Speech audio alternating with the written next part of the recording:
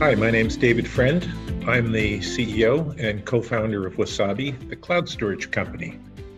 And I want to take this opportunity to give you a few of my own personal predictions about what's in store for the cloud industry in 2021. First, I think the cloud's going to become much richer, more varied environment. I don't think it's going to be a world where Microsoft, Google, and Amazon slice the world up into three pieces. I think what we're going to see is a proliferation of vendors uh, like Wasabi who do one part of the cloud really, really well. And all of those vendors are going to be able to function together in a much more heterogeneous environment.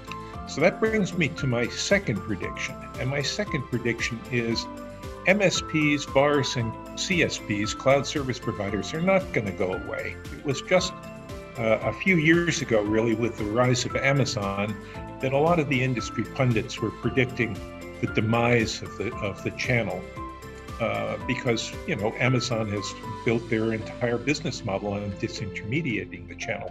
But I think what we're seeing today is the channel is flourishing, and the channel is flourishing because somebody needs to understand how to take all of these different pieces, these different specialty vendors like Wasabi, put them together and um, and make them all work.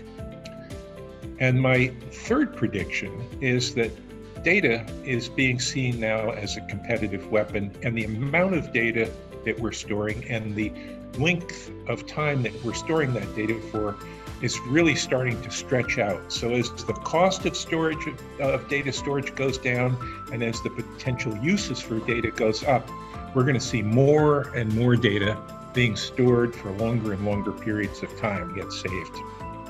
And that brings me to my final point, which is a little unrelated to the IT industry, but, but you'll see maybe not so much. It's about surveillance. Uh, there's almost 800 million surveillance cameras in operation around the world today.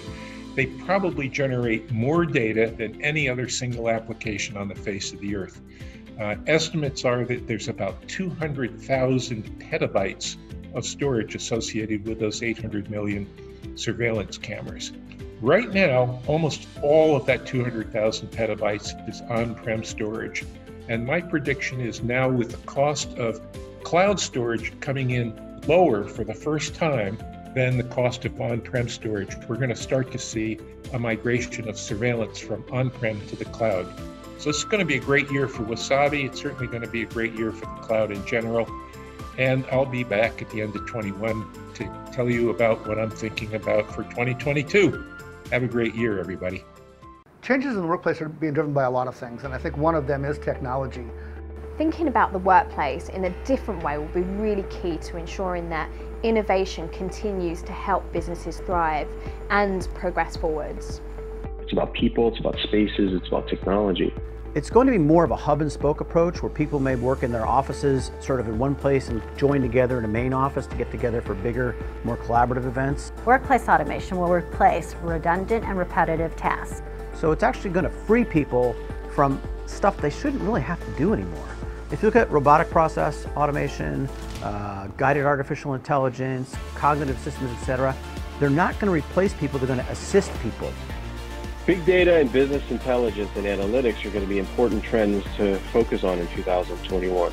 Everything's moving to the cloud. More and more companies are born in the cloud. So the cloud is going to play a key role when you think about public cloud and private cloud and the ability to combine the two based on the needs of your applications and the needs of your data will be crucial.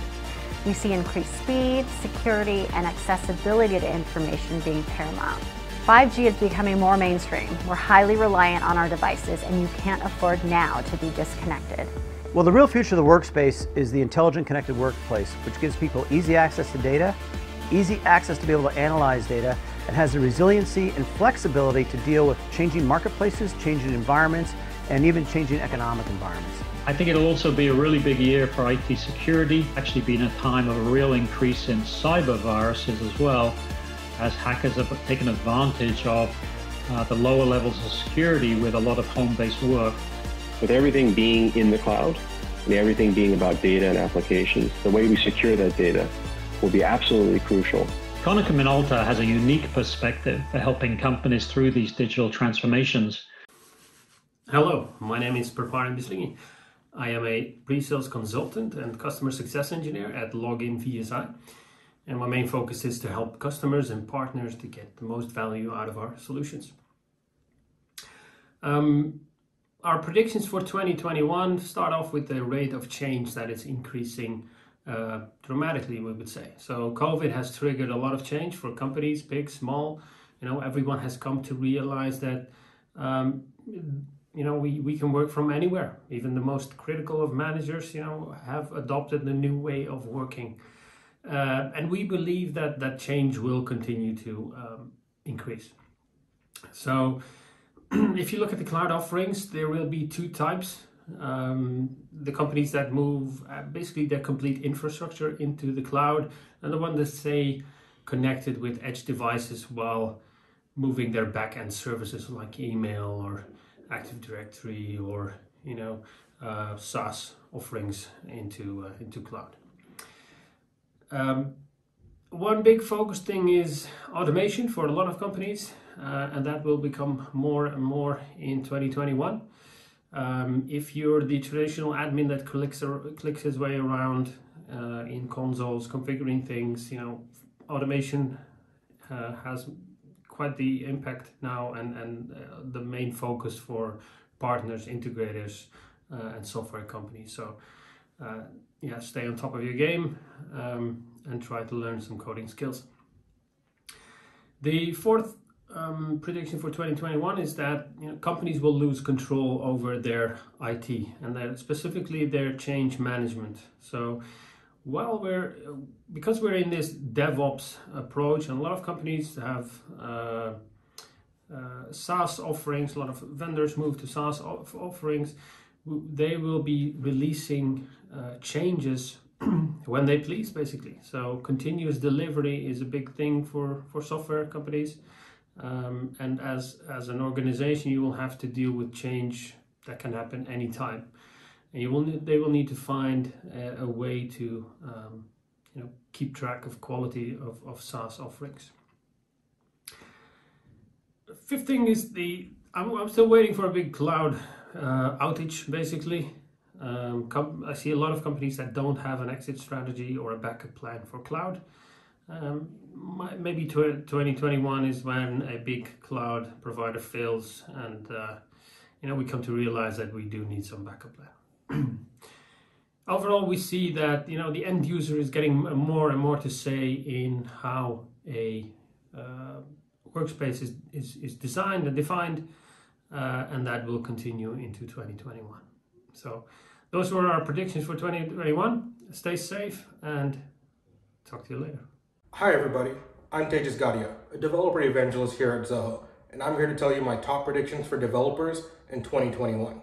We've seen an exponential growth in the application development and delivery market over the past decade, and that trend is for sure going to continue.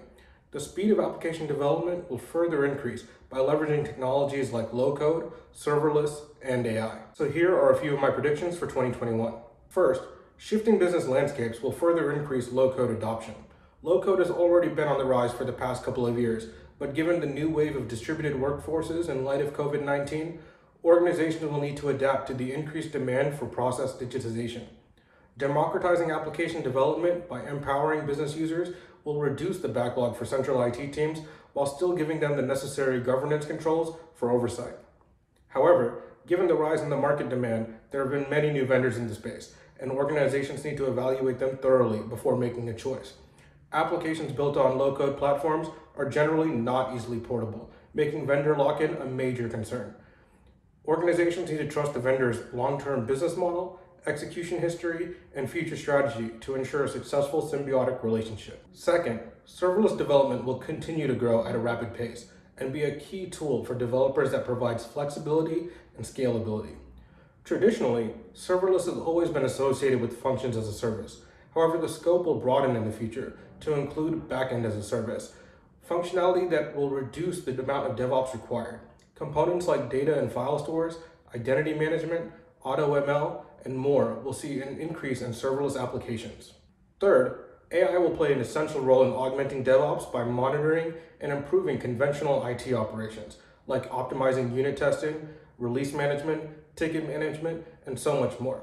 The progression to zero touch automation will continue, freeing up resources to focus on building core business application logic rather than just test cases. Last but not least, data privacy will play a larger role for developers. Historically, developers have primarily focused on data security as a part of their application development, but with the rise of privacy awareness and regulations around the world, developers will have to pay special attention to how their users' data is controlled and shared. For example, many packages and SDKs that developers take advantage of will have to be thoroughly vetted to ensure that data is not being shared with any third parties. That's all for me. Those are my predictions. Hope you have a great year. Thank you. Hi, VMblog. My name is Gregg Apirian, VP of Customer Experience here at Korbyt. I'm joined by my colleague George. I'll let George introduce himself. Hi, everyone. George Clopp, Chief Technology Officer, also here at Korbyt.